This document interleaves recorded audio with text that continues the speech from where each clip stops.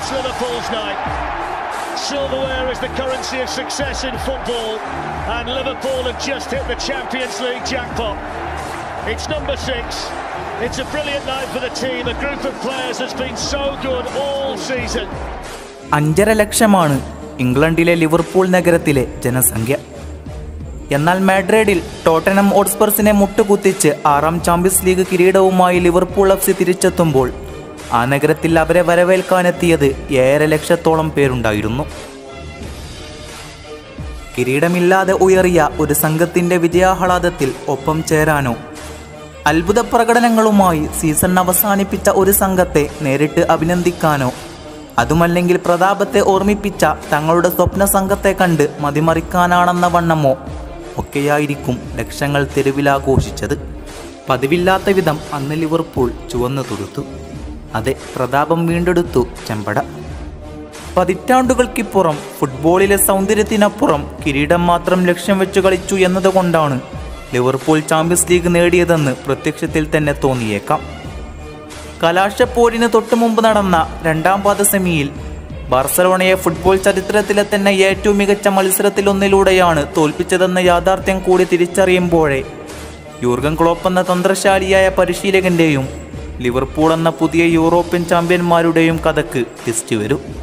അതെ അതിലേക്ക് വരേണ്ടതുണ്ട്. അതിനു മുമ്പ് ലിവർപൂളിന്റെ ആദ്യം കുറച്ച് ചരിത്രം പറയാം.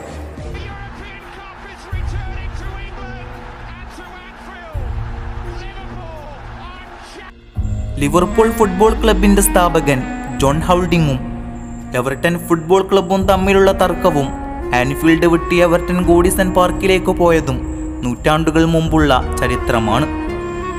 ക്ലബിന്റെ താളുകൾ കുറെ കൂടി വേഗത്തിൽ മറിച്ചാൽ ആയിരത്തി തൊള്ളായിരത്തി എഴുപത് എൺപത് കാലഘട്ടം കാണാം. അതെ വിൽഷാംഗ്ലിയും ബോബ് പ്ലേസിയും ചേർന്ന് ആൻഫീൽഡിൽ കിരീടങ്ങൾ കൊണ്ടലങ്കരിച്ച നാളുകൾ.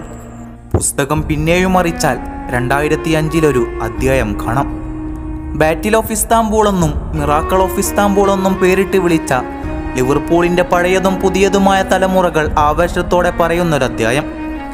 സ്റ്റീവൻ ജറാദ് എന്ന captain Jamie കാരങ്കൻ Sami Hyypia John Arne Riise Xabi Alonso. ആ പതിനൊന്ന് പേരും ഇപ്പോഴും ലിവർപൂൾ ആരാധകരുടെ മനസ്സിൽ ആവേശം തീർക്കുന്നുണ്ട്. ഇവരില്ലാത്ത ലിവർപൂളിനെ കുറിച്ച് പറയാതിരിക്കാനുമാകില്ല. ഫുട്ബോൾ നക്ഷത്രങ്ങൾ ബൂട്ടിട്ടിറങ്ങിയ എ സി മിലാനെതിരെ ആദ്യ പകുതിയിൽ മൂന്ന് ഗോളിന് പിന്നിൽ നിന്ന ശേഷം രണ്ടാം പകുതിയിൽ അത്ഭുതകരമായി തിരിച്ചു വന്ന് ചാമ്പ്യൻസ് ലീഗ് എടുത്ത നിമിഷം ഒരു മുത്തശ്ശിക്കഥ പോലെ തോന്നിക്കും. രണ്ട് കാരണങ്ങളായിരുന്നു ആ കിരീടധാരണത്തിന് പിന്നിലുണ്ടായിരുന്നത്. അതെ കളത്തിൽ പതിനൊന്ന് പേരുടെ സമർപ്പണം.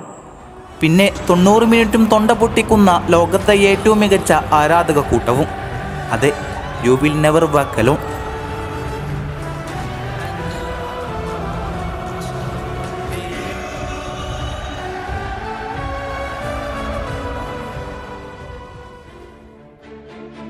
Irish കടലുമായി മേസി നദി കൂടിച്ചേരുന്നിടമാണ് ലിവർപൂൾ.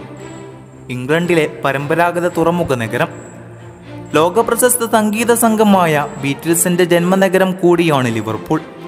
അതിനാൽ യു വിൽ നെവർ വാക്കലോൺ എന്ന മനോഹരമായ വരികൾ ആൻഫീൽഡിൽ ഉയർന്നു കേൾക്കുന്നതിന് വേറെ ഉത്തരം തപ്പിപ്പോകേണ്ടതില്ലല്ലോ. വെറുമൊരു ലിവർപൂൾ ആരാധകനെന്നല്ല. ഏതൊരു ശരാശരി ഫുട്ബോൾ പ്രേമിക്കും ലിവർപൂളിന്റെ ഹോം മത്സരം തുടങ്ങുന്നതിന് രണ്ട് മിനിറ്റ് മുമ്പെങ്കിലും കാണണമെന്നുണ്ടാകും. ചുവന്നു തൊടുത്ത ആൻഫീൽഡിൽ ഭൂമി പിളരുമാറുച്ചത്തിൽ you will never walk alone എന്ന വരികൾ എവർട്ടണിലെ ഗൂഡിസൺ പാർക്കിൽ വരെ എത്തും. മൂന്ന് ഗോളിന് ആദ്യപാദം തോറ്റൊരു മത്സരം. അതും ലാനൽ മെസ്സിയുടെ ബാർസലോണക്കെതിരെ.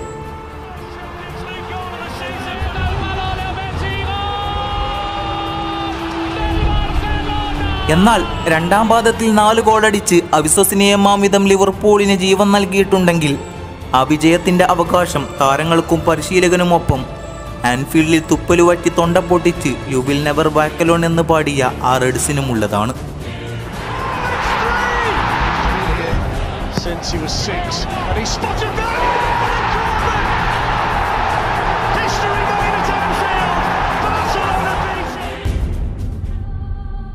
ഇനി പരിശീലകനിലേക്ക് കടക്കാം അത് ലിവർപൂളിന്റെ സ്വന്തം അച്ഛനും കോച്ചും. I don't want to say we have to wait the next 20 years and I'm sit here again. I, I know when I'm sit here in four years, I think we won one title in this time. I, I'm pretty sure. ഇന്ന് രാവിലെ ഉറക്കമണിയിട്ടപ്പോൾ ഞാൻ Liverpool മാനേജറായിരിക്കുന്നു എനിക്കും ടീമിനും കുറച്ച് സമയം തരൂ മൂന്നോ നാലോ വർഷം കഴിഞ്ഞ് ഞാനിവിടെ വീണ്ടും ഇരിക്കുമ്പോൾ ഒരു പക്ഷേ ഞങ്ങളുടെ കയ്യിൽ ഒരു കിരീടമുണ്ടായേക്കാം. അതെ നാലു വർഷം മുമ്പ് ജർമ്മൻ ക്ലബ്ബായ ബൊറോസിയ ഡോട്ട്മുണ്ടിൽ നിന്നെത്തിയ ശേഷം ആൻഫീൽഡിൽ നടത്തിയ ആദ്യ പത്രസമ്മേളനത്തിൽ യൂർഗൻ ക്ലോപ്പ് എന്ന പരിശീലകന്റെ വാക്കുകളാണിത്. ബുണ്ടസ് ലീഗയിൽ ബൊറോസിയക്ക് അത്ഭുത വിജയങ്ങൾ ഒരുക്കിയ ക്ലോപ്പ് ലിവർപൂളിനെ കൃത്യമായി പഠിച്ചു നടത്തിയ പരാമർശമായിരുന്നു അത്. ഒടുവിൽ അയാൾ വാക്കു പാലിച്ചു തന്റെ സ്വപ്നത്തെ ക്ഷമാപൂർവം ക്ലോപ്പ് യാഥാർത്ഥ്യമാക്കി. ഇപ്പോൾ ഞാൻ വളരെ ശാന്തനാണ്. ഈ കപ്പ് എങ്ങനെ എടുത്തതെന്നല്ല മറിച്ച് എങ്ങനെ ആസ്വദിക്കണമെന്നാണ് ഞാൻ ചിന്തിക്കുന്നത്. ഇതൊരു അതിതീവ്രമായ സീസണായിരുന്നു അതെ നാല് വർഷങ്ങൾക്കിപ്പുറം യൂറോപ്പിന്റെ കിരീടം സ്വന്തമാക്കിയ ശേഷം ക്ലോപ്പ് പറഞ്ഞ വാക്കുകളാണിത്. ആക്രമണ ഫുട്ബോൾ മാത്രം കളിച്ചിരുന്ന ഒരു ടീമിനെ അയാൾ ഒരു ചാമ്പ്യൻ ടീം കൂടിയാക്കി മാറ്റി. ആറ് ഫൈനലുകൾ തോറ്റിട്ടും അദ്ദേഹത്തിന് തന്റെ ടീമിൽ വിശ്വാസമുണ്ടായിരുന്നു. വലിയ വിജയങ്ങളിൽ മതിമറക്കുകയോ തോൽവികളിൽ നിരാശനാവാനോ ക്ലോപ്പ് നുനിഞ്ഞില്ല. കായികശേഷിക്കപ്പുറം ഫുട്ബോൾ ബുദ്ധി കൊണ്ട് കൂടി കളിക്കേണ്ടതാണെന്ന് അയാൾ തന്റെ കുട്ടികളെ പഠിപ്പിച്ചുകൊണ്ടിരുന്നു.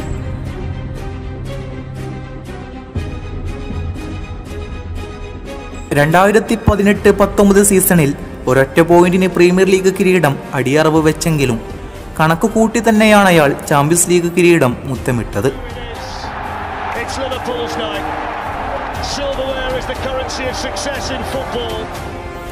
ഒരു മത്സരത്തെ ക്ലോപ്പ് സമീപിക്കുന്ന രീതിയാണ് ലിവർപൂളിന്റെ വിജയം. പ്രീമിയർ ലീഗ് ജേതാക്കളായ മാഞ്ചസ്റ്റർ സിറ്റിയുടെ ഗാർഡിയോള അനുവർത്തിച്ചു വരുന്ന പൊസിഷൻ ഫുട്ബോളും ക്ലോപ്പിന്റെ ലിവർപൂൾ നടത്തുന്ന ഫ്രീ ഫ്ലോയിങ് അറ്റാക്കിംഗ് ഗെയിമും അജഗജാന്തര വ്യത്യാസമുണ്ട്. ബാർസലോണക്കെതിരെ ആദ്യ പാദത്തിൽ മൂന്ന് ഗോൾ വഴങ്ങേണ്ടി വന്നതും രണ്ടാം പാദത്തിൽ നാല് ഗോൾ അടിച്ചു കൂട്ടിയതും ഈ ഫ്രീ ഫ്ലോയിങ് അറ്റാക്കിംഗ് കൊണ്ടാണെന്ന് വ്യക്തമാകും. ഈ കാരണങ്ങൾ കൊണ്ട് തന്നെ മാഡ്രിഡിലെ വാണ്ടോ മെട്രോപൊളിറ്റാനോ സ്റ്റേഡിയത്തിൽ ചാമ്പ്യൻസ് ലീഗിന്റെ കലാശ പോരാട്ടത്തിൽ ആക്രമണ ഫുട്ബോളിന്റെ അപ്പോസ്റ്റലന്മാരായ പൊറ്ററ്റിനയോട് ടോട്ടണം ഓട്സ്പറും ലിവർപൂളും വരുമ്പോൾ ഒരു ഹൈടഫ് മത്സരം പ്രതീക്ഷിക്കുക സ്വാഭാവികം. പക്ഷേ കഴിഞ്ഞ തവണ പോലും കലാശപ്പോരിൽ കൈവിട്ട കിരീടം എങ്ങനെയെങ്കിലും തിരിച്ചുപിടിക്കുക എന്നൊരൊറ്റ ലക്ഷ്യം മാത്രമാണ് ലിവർപൂളിനന്ന് ഉണ്ടായിരുന്നത്. മത്സരത്തിന് ചൂടുപിടിക്കും മുമ്പ് ലഭിച്ച ഗോൾ ക്ലോപ്പിന് തന്റെ തന്ത്രങ്ങൾ കൃത്യമായി മെനയാൻ ഇടയൊരുക്കി. ബസ് പാർക്കിംഗ് ഡിഫൻസ് അതെ നെഗറ്റീവ് ഫുട്ബോൾ. തന്ത്രമേതുമായിക്കോട്ടെ കിരീടം ലഭിച്ചാൽ മതിയെന്ന് ആദ്യമേ കരുതി കൂട്ടിയിറങ്ങിയ പോലെയായിരുന്നു പിന്നീടുള്ള നീക്കങ്ങൾ. വിംഗ് ബാക്കുകളായ അലക്സാണ്ടർ അർണോൾഡിനെയും റോബർട്സിനെയും ആക്രമണത്തിന് നിയോഗിക്കാറാണ് ക്ലോപ്പിന്റെ സ്ഥിരം ഗെയിം പ്ലാൻ. എന്നാൽ ഇവിടെ താരങ്ങൾക്ക് സ്വന്തം ഹാഫിനപ്പുറം ക്ലോപ്പ് ഇടം നൽകിയില്ല. ഇതിനൊപ്പം മധ്യനിരക്കാരായ ഫാബിഞ്ഞോ ഹെൻഡേസൺ വൈനാൾഡം എന്നീ ത്രയത്തെ പ്രതിരോധത്തിന് മുന്നിലാക്കി. മധ്യഭാഗത്തേക്ക് ചേർത്ത് പിടിച്ചാണ് ക്ലോപ്പ് കളി മുന്നോട്ട് കൊണ്ടുപോയത്. ടോട്ടണം മുന്നേറ്റ നിരയിലെ Harry Kane Son Dele Alli എന്നിവർക്ക് മധ്യഭാഗത്ത് സ്പേസ് അനുവദിക്കാതിരിക്കുകയെന്ന തന്ത്രമായിരുന്നു ഇത്. ഇതിനൊപ്പം ലിവർപൂൾ മുന്നേറ്റ നിരയും ആവശ്യഘട്ടങ്ങളിൽ താഴോട്ടിറങ്ങി. രണ്ടാം പകുതിയിലാണ് ഈ തന്ത്രം ശക്തമായി നടപ്പാക്കിയത്. വേണ്ടയ്ക്കിനും മാറ്റിപ്പിനുമിടയിൽ കേന്ദ്രീകരിച്ചാണ് ഫാബിഞ്ഞോ കളിച്ചത്. വൈഞ്ഞാടത്തിന് പകരം പ്രതിരോധത്തിന് ഉപകരിക്കുന്ന ജെയിംസ് മിൽനറെ പകരക്കാരനാക്കി ക്ലോപ്പ് തന്റെ നയം വ്യക്തമാക്കി. വിർജിൽ വാൻഡൈക്കിന്റെ പ്രതിരോധം ഇടയ്ക്ക് മാത്രം പാളിപ്പോയപ്പോൾ ബാറിന് കീഴിൽ അലിസണും മികച്ചു നിന്നു. കിരീടം നാളുകളായി അന്യം നിന്നിരുന്ന ആരാധകരും ആ നെഗറ്റീവ് ഗെയിം പ്ലാൻ അങ്ങ് സഹിച്ചു. അവർക്കൊരു കിരീടം മാത്രം മതിയായിരുന്നു. ഒരു സീസൺ മുഴുവൻ ഓർക്കാനുള്ളത് അവർക്ക് മുമ്പത്തെ മത്സരങ്ങളിൽ നിന്ന് ലഭിച്ചിരുന്നു. അതിനപ്പുറം ക്യാപ്റ്റൻ ജോർദൻ എൻഡേഴ്സിനെ ചേർത്ത് പിടിച്ചു കരഞ്ഞ യൂർഗൻ ക്ലോപ്പ് ഒരച്ഛനും മൂത്ത മകനും ബാക്കി വെക്കുന്ന വൈകാരിക നിമിഷങ്ങളെ ഓർമ്മിപ്പിച്ചു.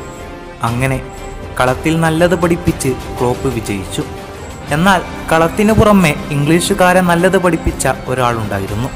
അതെ മുഹമ്മദ് സല. പ്രത്യക്ഷത്തിൽ തന്നെ ഒരത്ഭുതം കൂറുന്ന കണക്കാണ് സ്റ്റാൻഫോർഡ് യൂണിവേഴ്സിറ്റിയിലെ ഗവേഷകർ നടത്തിയ പഠനം കാണിക്കുന്നത്.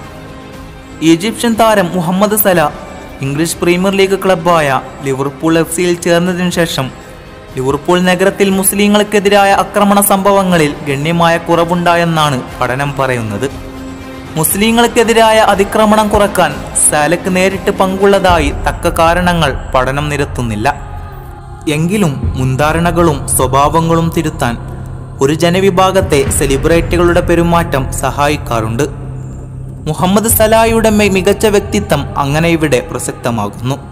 ഗോളടിച്ച ശേഷമുള്ള ദൈവത്തിനുള്ള നന്ദി പ്രകടനവും എതിരാളിയെ ബഹുമാനിക്കുന്നതും കുടുംബത്തെ എല്ലായ്പ്പോഴും കൂടെ കൂട്ടുന്നതും സാലയിൽ പലരും കാണുന്ന ഗുണങ്ങളാണ്.